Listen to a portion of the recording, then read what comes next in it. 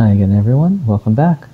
For this video I'll be showing you how to find critical values for two sample hypothesis testing uh, for T. Okay, so there's a couple of things that you um, need to know before you find your critical values for uh, t-test.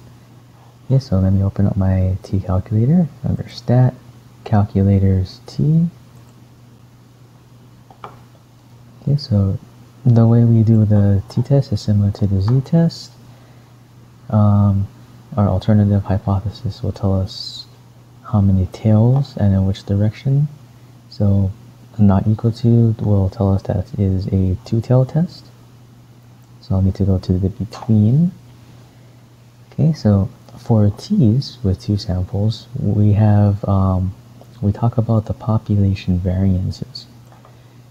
Okay, so if the population variances are equal, then what we'll need to do is we'll need to add both sample sizes and subtract 2. So for this problem, that'll give me 25 degrees of freedom. Okay, and because it's a two-tailed test and StatCrunch won't let us do the area outside, we'll have to do 1 minus alpha.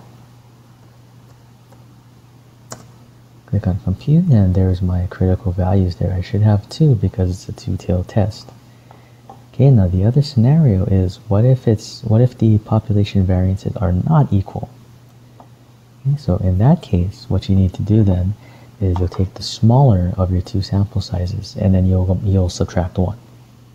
So this is my smaller sample size. I'll do minus 1.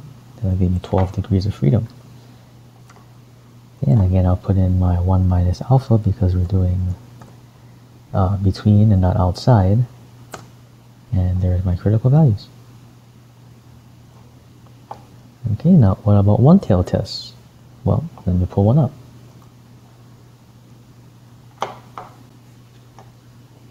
Okay, so this tells us it's a one-tailed test. I want to make sure that this symbol matches.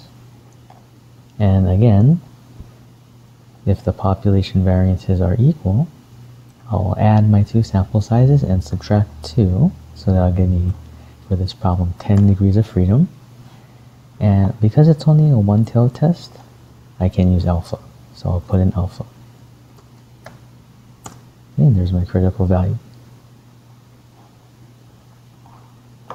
And again, if the population variances are not equal, I'll take the smaller of my two sample sizes and subtract 1. So this one's the smaller one. I'll do that minus 1, and it'll give me 1 degree of freedom. Again, because it's only one-tailed, I'll put in alpha and hit compute, and there's my critical value. And that's it. It's that simple. So thank you for watching and check out my other videos.